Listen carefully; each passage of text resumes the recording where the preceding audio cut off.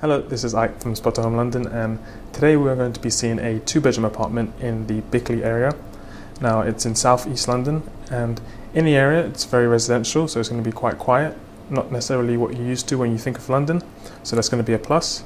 And we do have the Bickley station about a 10 minute walk away, and at the station, we can get to somewhere central in London, such as St Paul's or Blackfriars, in about 35 minutes. So, with that said, let's go ahead and see the bedrooms. So here's the front entrance area. We'll have the two bedrooms are going to be here to the right. So we have bedroom one and two. And to the left we'll have the living room that leads to the kitchen as well as the bathroom around to the corner to the left. So now as for the bathroom, we'll have the bathtub to the right, sink in between that and the toilet which is down to the left. So we also get the mirrored cabinet door and the radiator opposite that. So starting off in the first bedroom, bedroom one, here it is. So we'll have the single bed down to the right, a mirror on the wall, as well as storage with the built-in wardrobe around the corner. So inside we'll see we have a shelf up top, as well as space for you to hang your clothes here on the rail and then some more storage with the drawers down below. So now from this bedroom we'll get a view of the street. As I said it's a very calm and residential area. And then a view of the room from this side looks like this and we can see the radiator for the heating along the wall down on the right.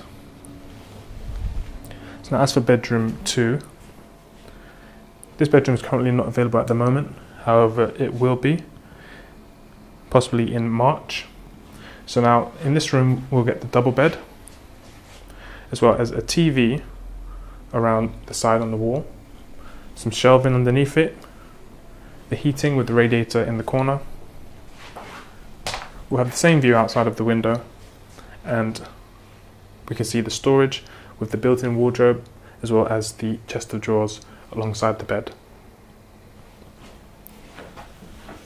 So next, also we do have some storage units inside of these doors, as well as the one inside of the living room here.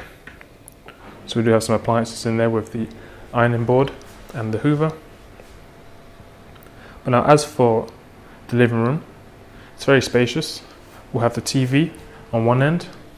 Opposite that, the L couch with the dining table. We have two large windows that go across the wall. So if we can see outside there, we'll just see the grass and the neighbouring buildings.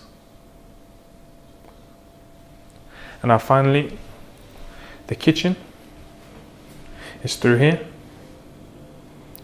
So it's tiled floor, unlike the wood floor that runs throughout most of the house. And we'll have a number of appliances, starting with the microwave in the far corner. Opposite that, we have the fridge and freezer. And a look from this angle, we'll see the oven, stove, sink, toaster and kettle on the countertop.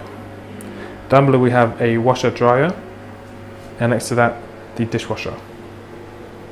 So in addition, there's going to be plenty of cabinet drawers up top as well as down below to store anything you may need to store in the kitchen.